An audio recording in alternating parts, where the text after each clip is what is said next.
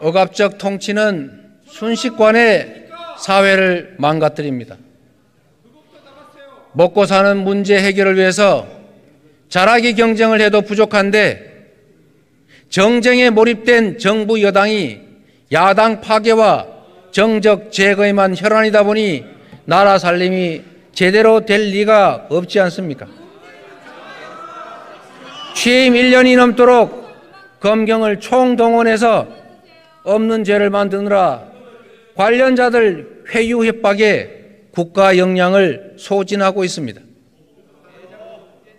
국민들께서 이미 간파하고 계십니다.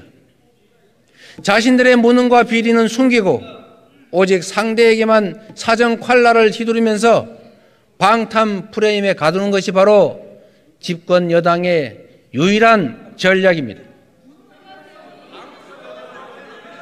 저를 겨냥해서 300번도 넘게 압수수색을 해온 검찰이 성남시와 경기도의 전현직 공직자들을 투망식으로 전수조사하고 강도 높은 추가 압수수색을 계속하고 있습니다. 이재명을 다시 포트라인에 세우고 체포 동의안으로 민주당의 갈등과 균열을 노리는 것인가 그렇게 생각합니다. 이제 그 빌미마저 주지 않겠습니다.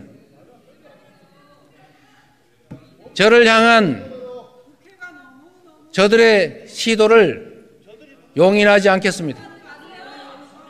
저에 대한 정치 수사에 대해서 불체포 권리를 포기하겠습니다.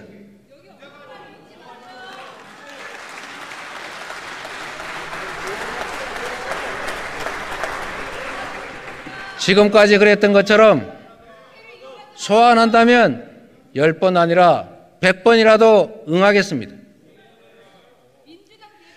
구속영장을 청구하면 제발로 출석해서 영장 실질 심사 받고 검찰의 무도함을 밝히겠습니다.